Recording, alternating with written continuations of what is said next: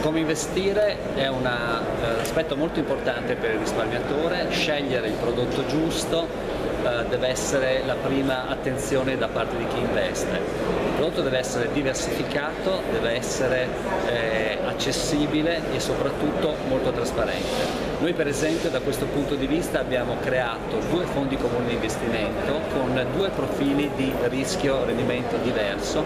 Abbiamo fatto Anima Crescita Italia con una eh, percentuale di azionario non superiore al 40%, quindi tendenzialmente un bilanciato obbligazionario e Anima Iniziativa Italia che invece è un fondo azionario che investe in titoli a piccola e media capitalizzazione italiani. Ecco, ogni investitore può scegliere tra queste due alternative o le può mischiare in modo tale da ottenere il perfetto bilanciamento tra i due profili di rischio in modo da una, oltre le proprie, le proprie aspettative in, te in termini di profilo di rischio di orizzonte temporale.